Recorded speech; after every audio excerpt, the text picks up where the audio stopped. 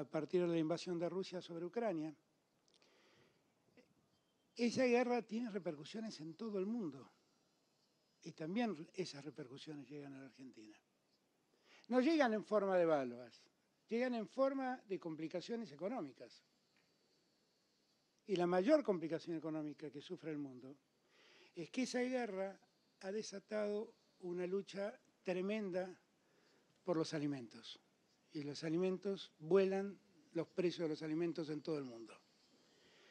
Y en verdad nosotros quisiéramos que eso no nos pasara ahora, porque nos cuesta mucho recuperarnos de aquella inflación que nos dejó sin guerra y sin pandemia, quien presidió mi mandato, que nosotros creímos empezar a resolver durante los dos años que pasaron en la pandemia y ahora se vuelve a desatar con toda la ferocidad que existe en el mundo. Piensen ustedes que tal vez este año Estados Unidos termine con una inflación de 10 puntos.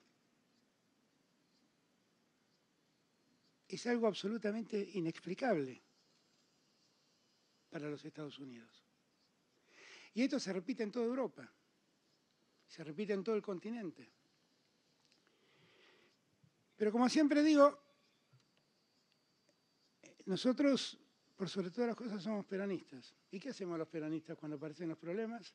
Le ponemos el pecho y buscamos las soluciones. Entonces,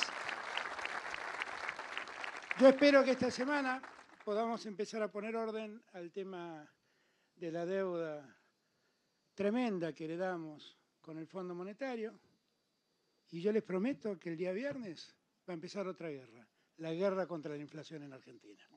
Vamos a terminar con los especuladores y vamos a poner las cosas en orden.